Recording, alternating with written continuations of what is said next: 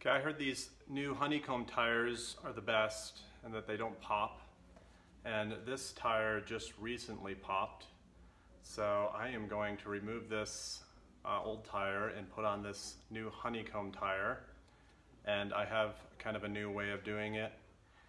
Um, instead of warming it up in the microwave or instead of kind of prying it on, I'm gonna do a completely different thing and hopefully it makes it a lot easier for you.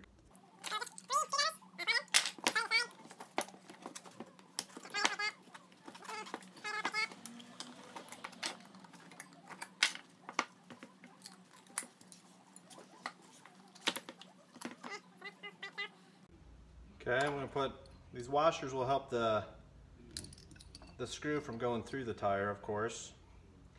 I start on one side and the other.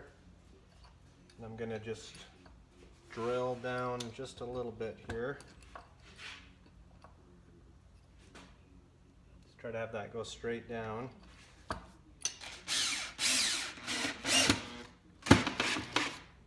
You want to kind of wrap that around in there a little bit. And then I'm to start on the other side.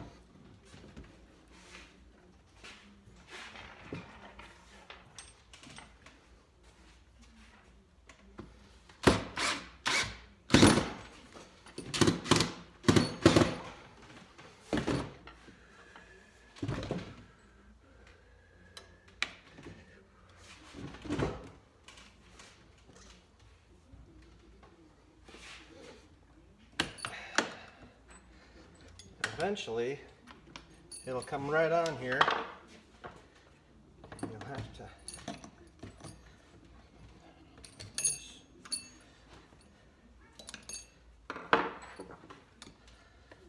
Okay.